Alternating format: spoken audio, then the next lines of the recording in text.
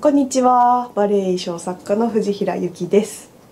ね、今回はですねちょっと、まあ、タイトルやサムネイルにもありましたようにあの私の今後の YouTube についてあのちょっとお話ししておきたいなと思って今こういうふうにお話ししています。えー、というのもその去年の5月頃に撮ったあのこの動画であの登録者1万人超えた時のですねあの感謝の気持ちを伝える動画の中で私がお話ししていたことなんですけどあのこのチャンネルはその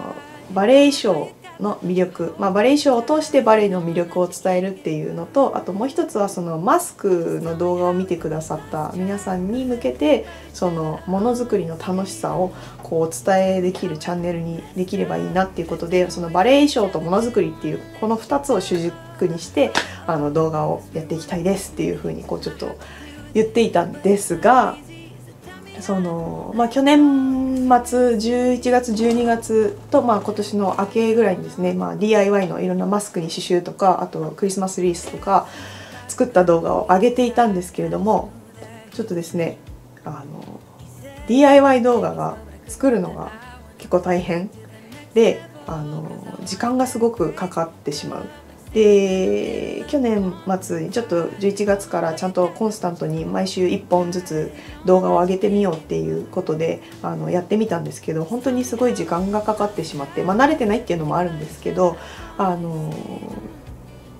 ね、あの時間がすごいかかってしまうっていうのと同時にあのもうバレエの世界の方も結構やっぱりねコロナに負けじといろんな対策を取りながら講演だとか発表会だとかコンクールも各地で開催されてくるようになって結構お仕事が戻ってきたんですね。で忙しくなってきて DIY 動画も撮らなきゃっていう風になった時にすごいこうあのちょっと仕事の方にあの差し障りが出てきてしまう面とかもちょっとあったので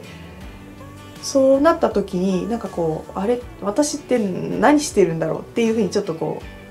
うなってしまって限られたそのやっぱり時間時間がすごく限られているのでそんな中であの本当はバレエの衣装をやらなきゃいけないのにあの YouTube でこういうふうにお話ししたあのものづくりもありますって言ったがためにちょっとあの DIY の動画とかも撮ったりとかってしてる時になんかこう何してるんだろう自分はっていうふうにちょっとこう悩んでしまってなんかこう瞑想してしまってでまあちょっとまたしばらくこうやって動画が上げられなくなっちゃったっていうことがあったんですけど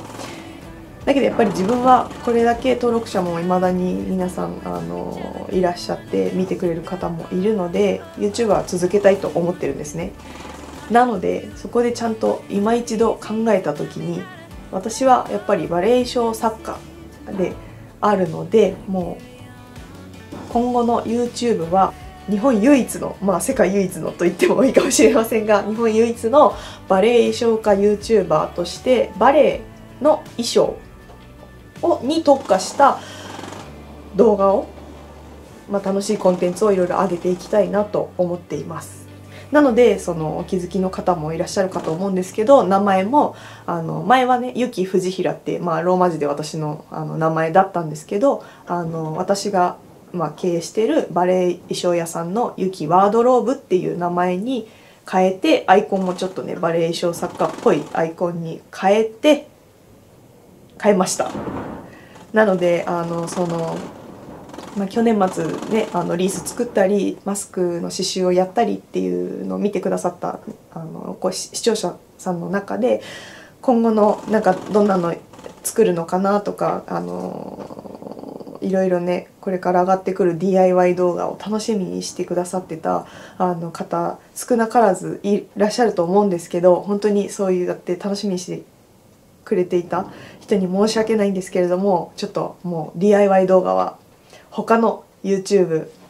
YouTuber さんにあのお任せして私はバレエ衣装作家としてバレエ衣装に特化した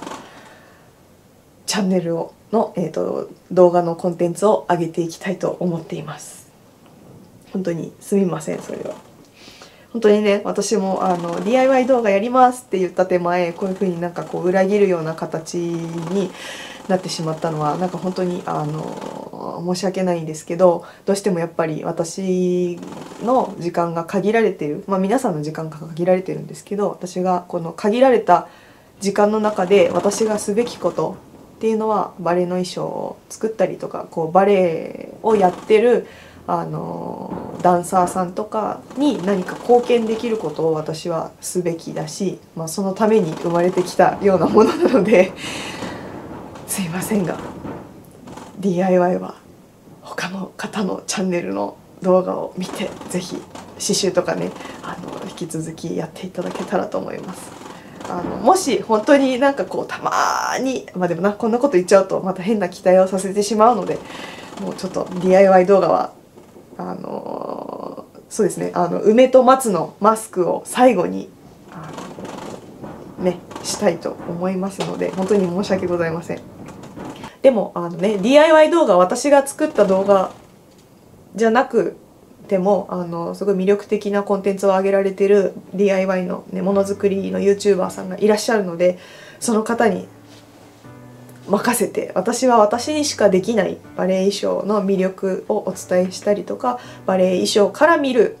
バレエ衣装の観点から見るバレエの魅力とかそういうのをお伝えするチャンネルにしたいと思っています。なのでねあの今後のまあ内容としてはざっくりではあるんですけど私が今まで作ったなんか衣装のこういうところをこだわって作ったよとかこの衣装はこういう役柄の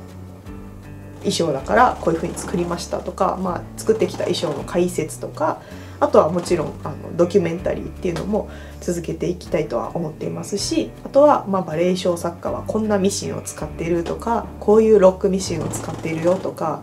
道具とか機械とか材料の紹介とかまたその材料はどこから買ってるのかみたいなね日暮里とか浅草とか、まあ、あのちょっとねロケしてあのご紹介してもねお店の、まあね、許可を取ってご紹介しても面白いかなと思っていますしあとはそのバレリーナさんとのねあのコラボとかそういうちょっと楽しい企画も今考えているのであの DIY の動画はもう出てこないと思うんですが引き続き是非チャンネルを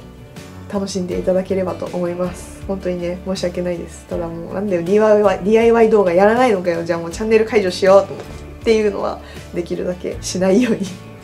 していただければと思います。本当にねあの時間がねたくさんあれば無限に時間がたくさんあればものづくり私本当にね好きなのでバレエ衣装じゃなくても他の刺繍とか小物作ったりはするのは本当に好きなので皆さんと一緒にそういうのができれば一番いいんですけどやっぱりね皆さんもそうですけど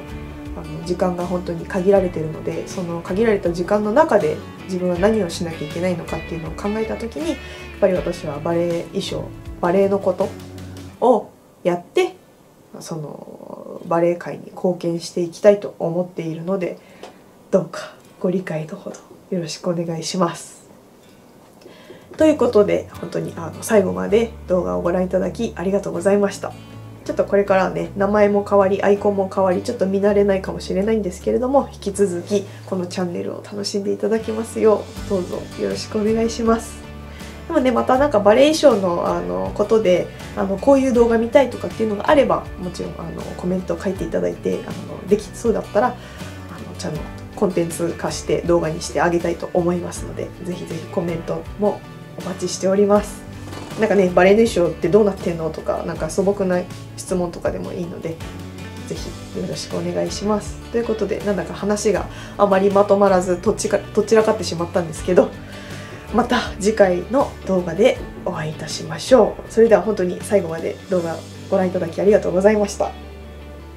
それではまた次回の動画でお会いしましょう。さよなら。ごめんなさい。